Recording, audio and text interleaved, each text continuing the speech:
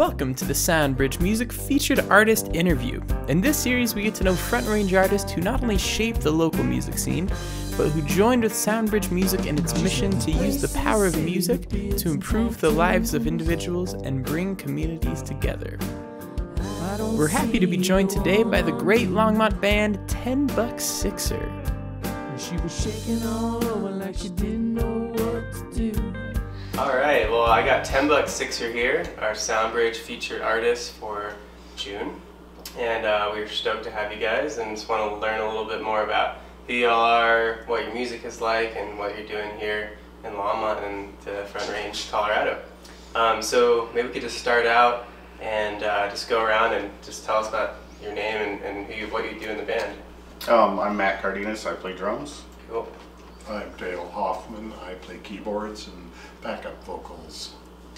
Rob Gonzalez, shenanigans, and guitar and other odds and ends and stuff, I'm Amy and vocals. and guitar and songwriting Yeah, okay. and songwriting. I'm sorry, go ahead. I'm Bob Wood, and um, I play guitar and sing, and write many of the songs. Songwriter. Nearly Yeah. all. Um, I'm Mike Pesci and I play uh, bass guitar, and sometimes I get to play my ukulele and my guitar as well. Nice. And how long have you guys been a band? I would say in this lineup, maybe last August we played our first show. maybe? Yeah, we started in July, last July. So a year, Yeah. a little under a year. a year. little under a year. These two guys have played together for how long? Over 11 years now. Yeah. Cool. Yeah. Different Our kid- project. Kids met in preschool, Oh, all cascaded out from that. right. How would you describe your music? I, you know, a little bit of rock, a little bit of folk, hmm rocky, Some humor, rocky folk. a lot of humor. Rope Lots of humor, Yeah. Um, introspective. That's one of the things I like about it is it's not very. Uh, I don't think it fits into any specific genre or anything like that. Kind of. We're not talking a lot about uh, blue skies and going for walks in the woods, except when there's might be a body there or something. I don't know. It's very lyric centric Okay. music, very lyric centric. Right. Cool. Uh, and you have a big group. Um, are you playing a lot of shows this summer?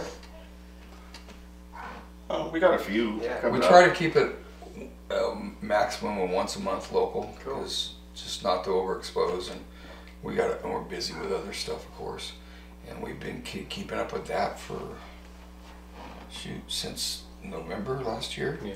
Jan- or before that even um, We have two shows coming up on June 30th on the same day. Mm-hmm. um, the uh, El Hag uh, group that has their annual fundraiser called their Label Show, and we're playing that. And uh, what's the other? the inaugural The inaugural Loco Longmont Loco Yeah, Fest. Loco Fest All Longmont bands. Brian Rezak's thing and that's happening the same day How would you describe uh, some of your influences in your songwriting or in your music? Any inspirations for you guys?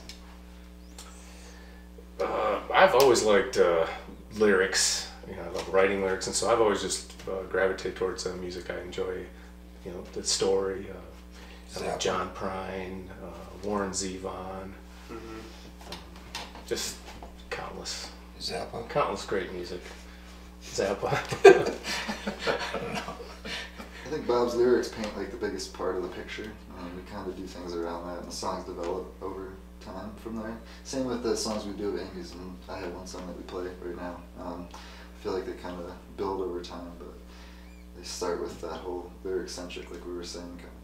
Yeah, it's cool. We've added, um, like I said, they've done songs forever. He's got some good songs written, and then but we we're, we enjoy adding Mike's songs, Amy's songs. Matt and I just Yeah. follow along. But the lyrics really help kind of the dynamics of the songs and what we do in the songs, I think. Yeah. Yeah.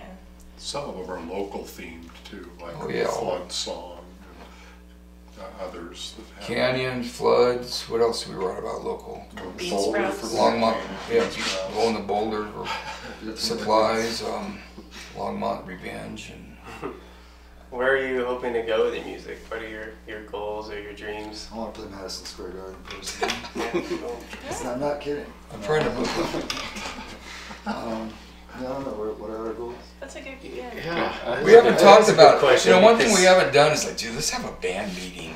Let's lay out our goals. But we do share intentions. yeah, we share our stuff just all the do it on time. camera now. It's fine. Yeah. yeah, Yeah. really. Like we'll Yeah. send out texts like, "Hey, let's try this festival," and "Hey, let's let's think about this venue." And I think what Dale said goes back to that still. Um, the intentions are to have fun and get better. Mhm. And the shows have been getting more and more fun as we're getting better and tighter together. So I think it's just kind of see what happens for me. But um, that's my opinion.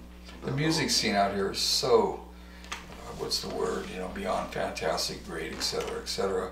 The players out here, the, the venues that support um, live music, Soundbridge happening, I mean, all the, it, it's, it's amazing. Um, I think I'm the only one who was born and raised in this town, and and we hold it it was you. it was never anything like this growing up. But Yeah. it's turned into just an incredible music scene. It really it's just fun. It's just fun to be here. Yeah. I mean, I never thought that I say Longmont's really cool, but it actually is now. So, Well, I think it's like been in the last ten years. Yeah.